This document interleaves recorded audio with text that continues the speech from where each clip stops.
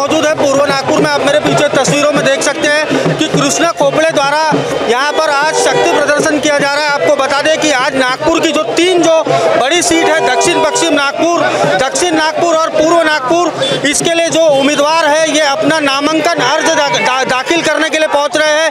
आप देख सकते हैं कि कृष्णा खोपड़े के साथ जीप में शहर अध्यक्ष बंटी कुकड़े और बंटी कुकड़े के साथ साथ मध्य नागपुर से जो भाजपा विधायक थे, वो भी इस वक्त यहाँ पर हमें साथ में दिखाई दे रहे हैं। हालाँकि अब तक का मध्य नागपुर को लेकर अब तक का ये साफ़ नहीं हो पाया है कि भाजपा का उम्मीदवार कौन होगा। साथ ही आपको बता दें कि पूर्व नागपुर की यदि बात करें तो पूर्व नागपुर से महायुति में एक बड़ी बगावत देखने को मिल रही है। पूर्व नागपुर से जो अजीत पवार गुट की आभा पांडे है, उन्होंने निर्दलीय नामांकन अर्ज़ यहाँ से कल दाखिल किया है।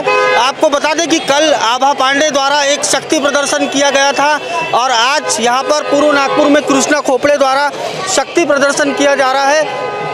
साथ ही ये जो अलग अलग इलाकों से जो शक्ति प्रदर्शन है, मध्य की बात दक्षिण नागपुर की बात करें या पूर्व नागपुर की बात करें या दक्षिण पश्चिम नागपुर की बात करें तो जो ये तीनों कैंडिडेट है, ये संविधान चौक पर मिलकर एक साथ नामांकन अर्ज़ दाखिल करने के लिए पहुँचेंगे। आज शहर में भारतीय जनता पार्टी की ओर से नामांकन दाखिल किए जा रहे हैं। इस वक्त हम कृष्णा खोपड़े के इलाके में हैं। हमारे साथ में भाजपा शहर अध्यक्ष बंटी कुकड़े हैं। बंटी जी, क्या बताऊँगे? आज शक्ति प्रदर्शन किया जा रहा है नामांकन दाखिल करने वाले। भारतीय जनता पार्टी के लोकप्रिय उम्मीदवार जी खोपड़े। अभी ये फॉर्म भरने के लिए जा रहे हैं और ये जनता की जो ताकत है वो ताकत से ये निश्चित होता है। कि कृष्णा भाऊ की हैट्रिक तो हुई है। अब हम चौथी बार पार होंगे। चौथी बार कृष्णा भाऊ आमदार बनेंगे। बंटी बाबू क्या बताओगे जिस तरीके से महायुति में हमें पूर्व नागपुर में बगावत देखने को मिल रही है अजीत पवार गुट की आभा पांडे यहाँ से निर्दलीय उन्होंने फॉर्म भरा। इनका कोई फ़र्क नहीं पड़ेगा हमको। हम चालीस हज़ार वोटों से जीतेंगे। धर्म का पालन किया जाएगा। वो उनके पार्टी के प्रमुखों ने देखना चाहिए।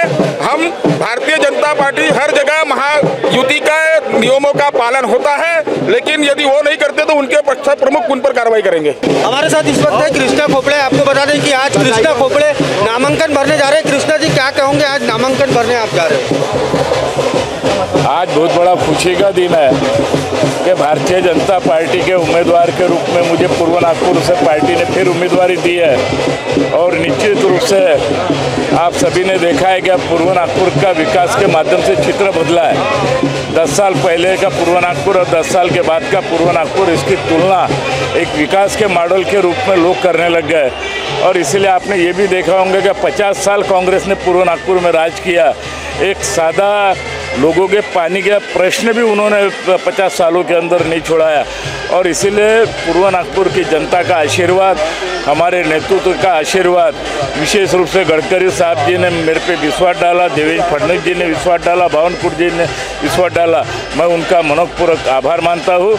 और आने वाले इस ये अपने विधानसभा के चुनाव में भारतीय जनता पार्टी फिर से पूर्व नागपुर में अपना झंडा गाड़ेगी। जिस तरीके से महायुति में हमें बगावत देखने को मिली। अजीत पवार गुट की आभा पांडे, कल उन्होंने भी नामांकन भरा है, शक्ति प्रदर्शन किया, आज आपका शक्ति प्रदर्शन है। नहीं, किसका शक्ति प्रदर्शन है, उनका भी शक्ति प्रदर्शन देगा हम कभी शक्ति प्रदर्शन करते नहीं। और हम कोई नोटा दे के लोगों को लाते नहीं। हमारे खुद ही कार्यकर्ता इतने सक्रिय है, हमारा खुद ही पूर्व नागपुर की जनता इतनी सक्रिय है, क्योंकि लोगों को विकास चाहिए, लोगों को डेवलपमेंट चाहिए। और ऐसे अनेक लोग खड़े होते मध्य नागपुर में भी वो खड़े थे, और मध्य नागपुर की जनता ने इसी तरह का उन्होंने वातावरण किया था बड़े बड़े बोर्ड लगाए थे बड़े बड़े कटआउट लगाए थे। फिर भी जनता ने उनकी कोई सुना नहीं चार हज़ार के अंदर ही उनको मतदान मिला था। लेकिन इस बार भी आप देखोगे क्या अलग ही चित्र आपको दिखेगा और फिर से भारतीय जनता पार्टी बड़े पैमाने पर चुन के आएगी। विकास के मुद्दे को ही।